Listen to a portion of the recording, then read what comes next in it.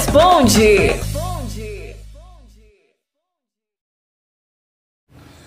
Olá pessoal, nós voltamos agora com mais um vídeo. É o seguinte pessoal, nós estamos fazendo aqui o assentamento de um revestimento em uma parede externa e ao longo do tempo aqui onde nós temos postado os nossos vídeos, nós temos recebido muitas perguntas, dúvidas que os pessoal tem tido aí sobre é, vários assuntos sobre, em revestimentos. E um deles é isso aqui, ó.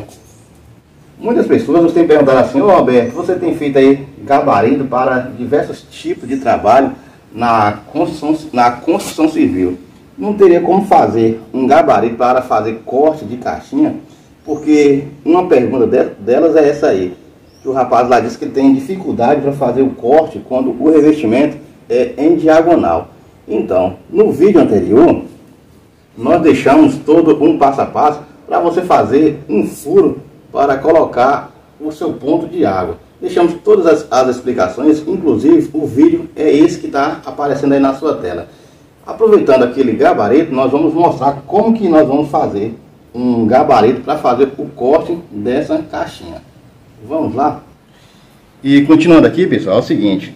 Nós mostramos no vídeo anterior como que nós fizemos essa ferramenta para fazer a marcação dos pontos de água na, no seu revestimento, fazer para furar. Aqui nós temos a marcação no ponto de esgoto de 50, aqui um de 40 e isso aqui para um ponto de água de 25. Nós mostramos em outro vídeo que isso aqui nada mais é do que um, esquadro, esquadro, fizemos um furo nele aqui, ó, colocamos esse parafuso e fizemos também esse outro furo aqui opcional, caso o seu revestimento seja muito grande, ok? O que, que nós vamos fazer?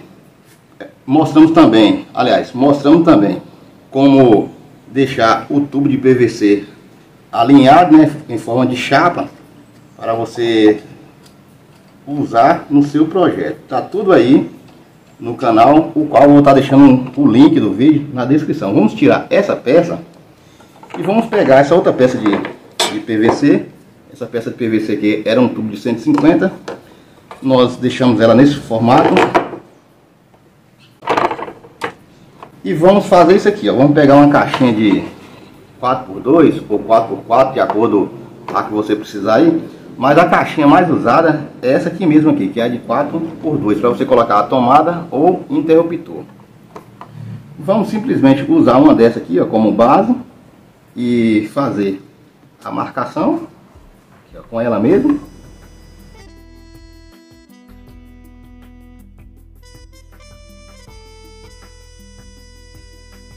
Eu vou usar aqui o esquadro para marcar essa mesma largura que ficou aqui do lado de cá. Caso você quiser medir para ficar tudo certinho, você meça. Senão, pode fazer de forma aleatória como eu estou fazendo aqui, na base do olhômetro.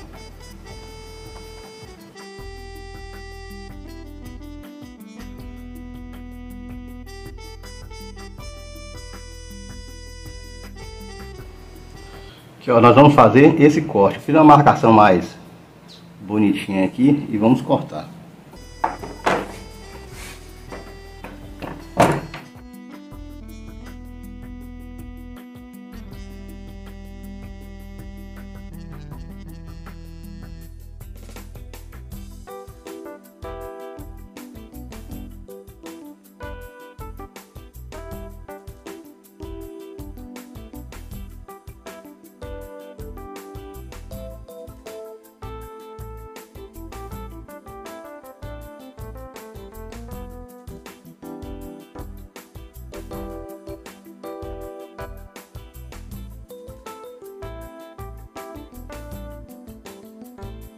Aqui pessoal, já está pronto. Agora eu vou apenas fazer o furo.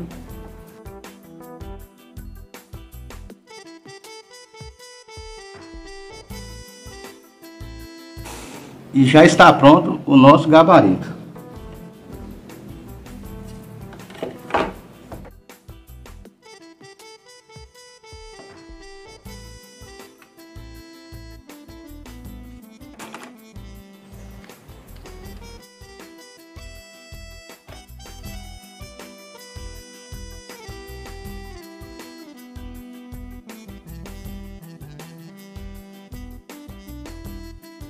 Agora, pessoal, com o nosso gabarito pronto, vamos fazer a marcação do corte.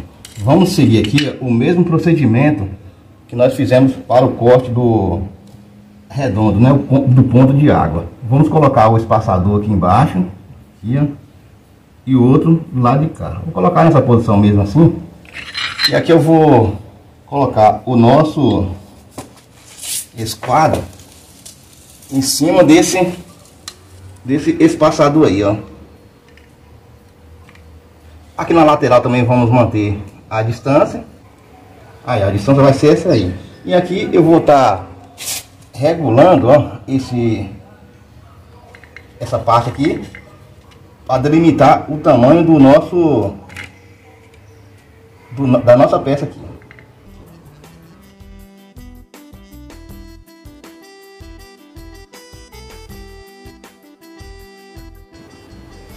Olhem só para vocês verem, tá batendo certinho. Agora eu vou apertar aqui, ó, no local. Aqui também. Olha só, aí é tudo prontinho. Agora vamos passar essa marcação aqui para a peça do revestimento, né? Que no caso é essa aqui, ó. Vamos marcar no local.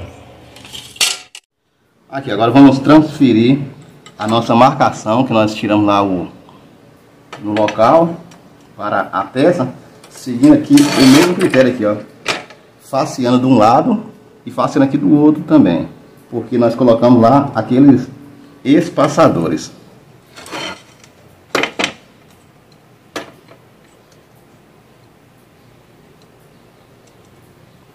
Tudo certinho. Aqui agora vamos só contornar, ó.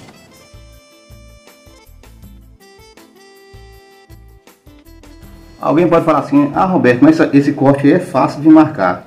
E se dá no meio aqui? É o mesmo processo, você vai seguir os cantos aqui do, do espaçamento da sua peça e vai controlar até que você vai achar a posição ideal, a, a posição certa e fazer a marcação do seu revestimento com tranquilidade.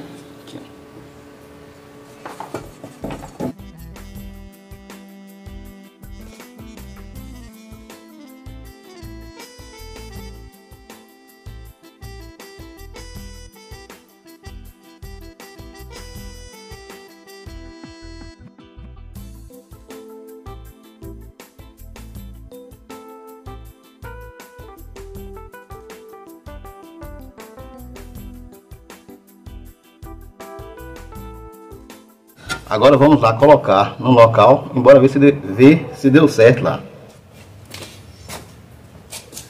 Vamos colocar agora a nossa peça aqui. Ajeitar o espaçador aqui embaixo. Direitinho. Vamos colocar a nossa peça em cima aqui, ó.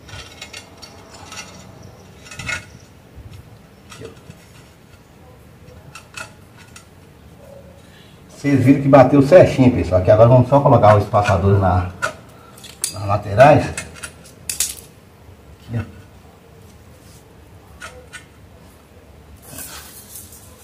Aqui em cima também vai espaçadores.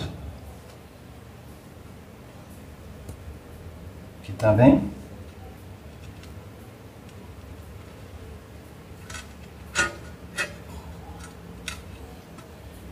E aí para vocês viram, o corte perfeito. Essa maneira serve também para você fazer o corte em diagonal. Vai facilitar bastante o seu trabalho aí. E você não vai mais precisar usar o esquadro. Então pessoal, esse foi o nosso vídeo de hoje, deixando aqui mais essa dica para vocês aí e assim atendendo também ao pedido de alguns inscritos aqui do nosso canal. Eu espero que você que assistiu aí tenha gostado desse vídeo e dessa dica. E a você que entrou aqui pela primeira vez, assistir esse nosso vídeo também e gostou, e se ainda não foi inscrito aqui no nosso canal, eu quero te fazer um convite. Caso você queira fazer parte da nossa família de amigos aqui no canal Roberto Araújo Construção Civil, seja bem-vindo. Basta você clicar no botão vermelho aí abaixo do vídeo, inscrever-se, ative o sininho para receber as notificações e vídeos novos toda vez que nós postarmos aqui. E se você gostou desse vídeo, como eu acabei de falar, Deixa seu joinha aí. Se você não gostou, como eu sempre digo, deixa um joinha assim mesmo que ajuda a fortalecer o nosso canal. Até o próximo vídeo, pessoal. Um abraço.